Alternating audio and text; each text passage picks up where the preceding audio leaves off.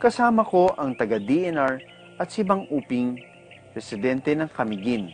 Pinuntahan namin kung saan makikita ang ibon. So, Kuya Uping, ano? Ang hindi pa ako nakakita ng ah, Kamigin na hanging parrot. Ano? Nasaan ba yung sinasabi yung may, merong may alaga dito? Ngayon nasa taas na Ah, ayun. Oh, yung Ganito palang alaga nila dito, hindi nakakulong. Sino kaya may-ari nito? Sabi sa kapatid ko, Dok, binibiling yung hindi niya kilala. Tapos naawa naman siya sa langgam. Alagaan niya ng mabuti. Ito yung kulasisi kung tawagin sa atin, pero espesyal itong ibon na ito dahil ito yung tinatawag na kamigin hanging parrot. Pero ngayon lang ako nakakita ng ganitong style ng pag-aalaga. Wala sa kulungan, ano, nakatali lang sila. Buti na lang meron siyang stick kasi pag kumakain yan, dinilinis niya yung tuka niya para matanggal yung mga tira-tirang saging. Dahil nakatali, ilang talampakan lang ang kayang liparin ng ibon. Kumpara sa milya-milyang layo ng linilipad nito kapag nasa wild. May napansin ako, no? Nawala na siya ng balibo sa dibdib. Ah, pag nakakita ko ng mga ganitong pagkakalbo ng feathers sa dibdib, isang sinyalis ito ng ah, boredom. Kasi wala silang magawa, ah, naiinip sila. Tapos sa binubunot nila yung balahibo nila. Kaya ganyan ang itsura. Oh. Kung mapapakwalan siya, babalik ulit ng balahibo niyan. Ano? Ito, mas magandang kondisyon nito. Pero at saka mailap pa siya. Ah, magandang ah, sinyalis ito ng para pakwalan. Pero mas prominent ang kulay niya. Oh. Pulang-pula yung tuktok ng ulo niya, tapos yung pisngi niya, mga sul-ngasul. Kaya gandang-ganda yung mga tao dito, no? Ginagawang alaga.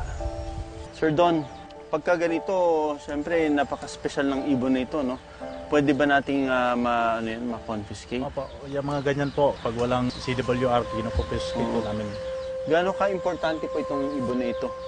Ang importante yan dito sa kami, lalo na yan din ang nagdi-disperse ng mga seeds dyan sa forest. Nagtutulong yan ng magtanim sa forest natin po. Maya-maya, dumating ang nag-aalaga ng mga ibon. Bakit niyo po inalagaan sila? Nilagaan, naluoy ko sila. Na- naawa kayo? Matagal niyo na po bang alaga yung mga yan? Sa tuig.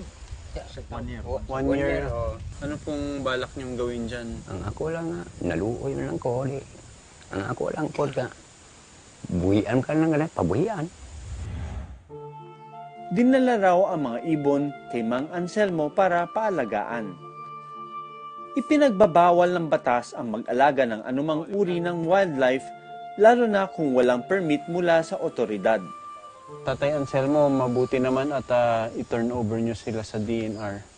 Ah, at ah, sana huwag na kayo mag-alaga ng mga ganyan. Kung merong mang magdala, sabihin nyo, pakwalan na lang kagad. Ano? Dahil isang taon nang nakatali, kailangan masiguro ko kung kakayanin pa nilang mabuhay sa wild. Masakit magat itong mga ibon na ito. So, ayan. Ang pag-examine namin dito ay uh, chinecheck kung may mga sugat dito sa ulo. Wala naman. Sa pangatawan, medyo obese na siya dahil ah, kain siya na kain. Dahil hindi siya makalipad, tumataba siya ng tumataba. Okay naman yung mga yung paa niya. Nagagalaw niya. May tama yung kanyang paa. Sa sobrang ilap nito, kada paglipad niya, eh, nagagasgas itong paa niya. oh. There. Gagamutin ko lang siya.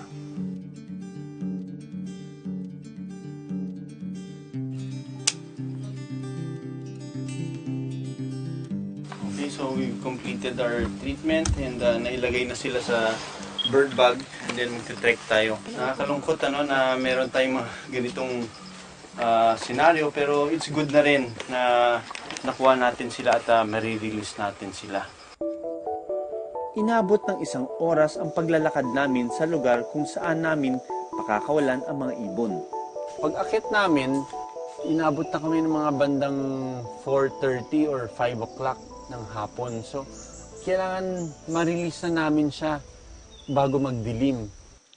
I-release natin sila. coming from a captivity, ano?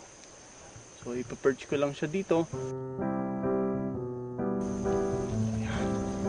Nice. This is the male. Oh!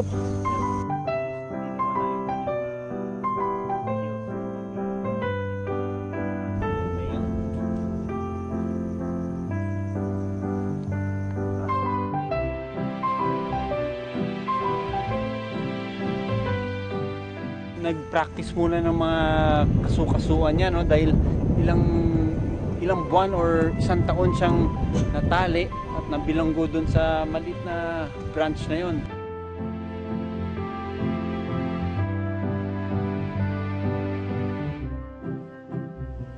Endemic o sa kamigin lang makikita ang kamigin hanging parrot. Kaya naman, mas kailangan silang protektahan lalo na't wala pang gaanong pag-aaral tungkol sa kanila. Kasabay pa rito ang pagkaunti ng mga gubat sa bansa. Very active at uh, tuwan-tuwa siya nung nakita niya yung mga dahon, palipat-lipat siya, na lahat kami napansin namin yung kanyang behavior na napaka-active pala ng pulasisi and these are the birds that doesn't deserve to be in cages. No wild bird should be in cages. They should be set free.